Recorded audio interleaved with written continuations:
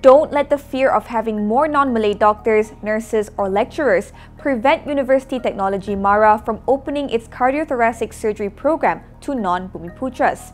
This is what former Law Minister Zaid Ibrahim had to say after Higher Education Minister Zambry Abdul Kadir said there were no talks on opening UITM's postgraduate program to non-Bumiputera students. Zambry said several underlying issues, which he did not specify, needed to be addressed before the proposal to accept non-Bumiputera students could be considered. In a post on X, Zaid said there were no outstanding issues beyond the perennial fear of opening UITM to non-Bumiputeras.